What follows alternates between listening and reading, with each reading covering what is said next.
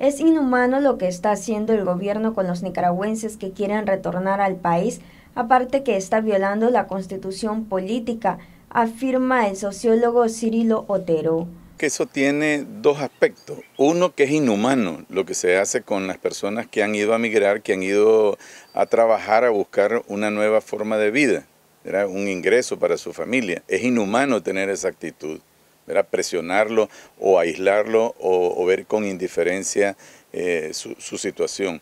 Y segundo, es una violación a la constitución política, porque la constitución política dice que el Estado está obligado a proteger a todas las personas ciudadanas de este país que se encuentran en cualquier otro estado. Entonces debe preocuparse por ver qué está pasando. El embajador de, Panamá, que es una persona que yo conozco, eh, debería de tener vergüenza. A los, a los nicaragüenses en Panamá hay que darle mucho apoyo, mucho apoyo, hay que atenderlos inmediatamente, lo mínimo que se puede hacer. Ahora yo creo que no es extraño en este gobierno ese comportamiento. Pues.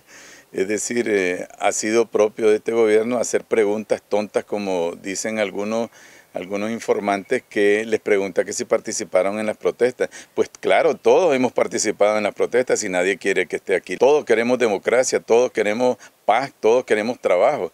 ¿Quién no ha participado en esto? Como que me digan que si participé o no en la revolución contra Somoza en 79. Claro que participé porque no queríamos ver a Somoza más aquí. Igual está pasando ahora. Primero hay que juntarse y organizarse. Es la primera cosa que hay que organizarse. Segundo, hay que presionar a la embajada y al consulado nuestro en, en Panamá.